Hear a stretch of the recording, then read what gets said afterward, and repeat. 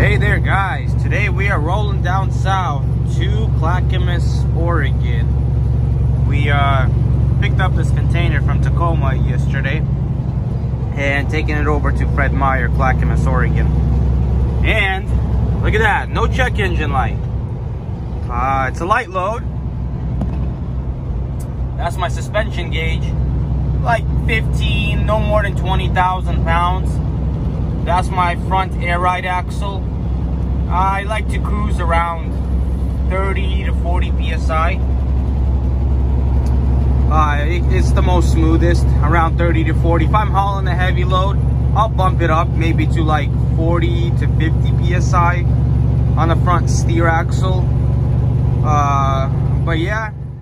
All right, so we actually got it backed in. And one other thing I want to mention is what's nice about containers is it's a power only. Most of the time, you don't need a chassis or trailer. It's just your truck. Whoever you're working with, your dispatcher, if you're leased on to somebody, they always provide a trailer, the chassis, to pick up containers. For example, I'm using this one, which is a combo chassis, and it lets me use uh, with 20 foot containers or 40 foot containers, or I could put actually two 20s. Uh, so that's one plus about containers is it's power only most of the time. So here I just busted out one of my pay slips from one of my dispatchers. I'm not going to share every single rate I get, but this is on average. This is on average what a dispatcher will pay you for a container move.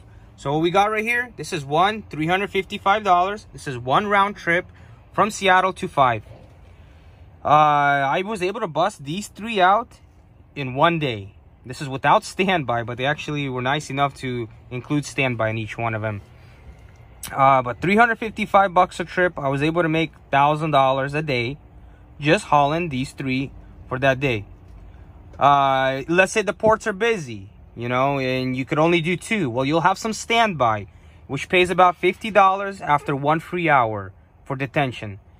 You'll still come out to close to 800 to $1,000 after standby for those two trips. So local or regional like today i actually drove out 150 miles uh tacoma to clackamas oregon. Uh, thousand dollars but i just had to spend 200 dollars on fuel.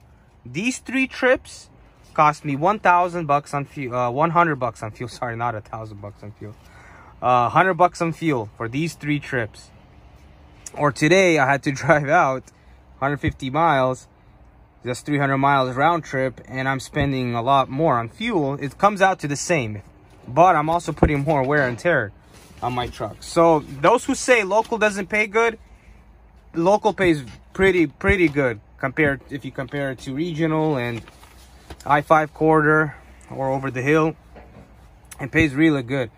Just watch out for the dispatchers that could use you. Especially I had a few where I leased on like Premier, they were paying 175 to 225 uh, a trip, and it just wasn't it just wasn't profitable. So watch out for the dispatchers you guys work for. Also, don't agree to cheap rates. Negotiate all the time. But containers, containers, it could pay good if you try. Try to find the right dispatcher. So there you go, guys. Hopefully that was a little bit of helpful if you guys are trying to become an owner operator here in the Pacific Northwest. And if you guys are new to my channel, check out how I made my own air ride kit. Still rolling good. No tire wears. Love it. And of course, guys, my favorite part about being an owner operator is you could do whatever you want. Check out what I did over here. This used to be a cupboard. I took all that out I was able to fit a regular size fridge, 18 inch wide. Uh, I got my uh, inverter running. I put the inverter, it's actually in, behind there. It's got good airflow. I made a little out of MDF board, a little table. So I could have uh, maybe put a Keurig or something right there. Got my microwave and all that working. That's the favorite part about being an owner operator. You could do whatever you want to your truck. It's your truck. You know, when I was a driver, I wasn't able to actually do this stuff.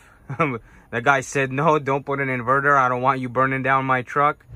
So, and we getting? A bypass today? That's a good way to end a Thursday.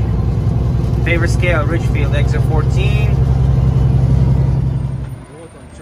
Here's one of those days where you got more work after work.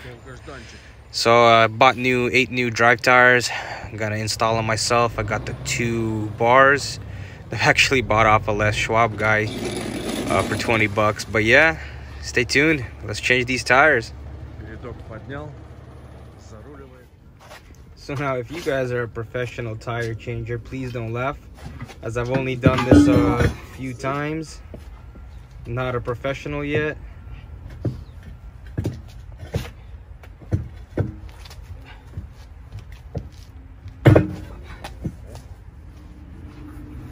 So after changing a few tires, now I know that the key is lubrication. The better you lubricate it, the easier it'll be. Dry tire, especially I used a little bit of soap. It dried out too fast and it just it just didn't let me put on the tire as nicely as if I just used uh, a solidol, which is uh, it's a type of grease. You could get there's actually tire grease they sell in the buckets Makes it a lot easier to put on a tire.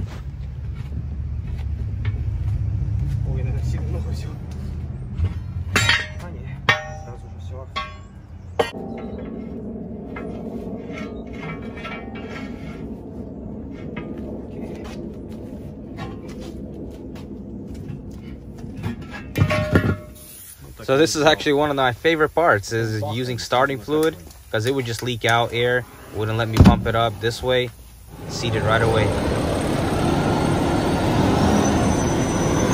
Поднял подушки и поехал.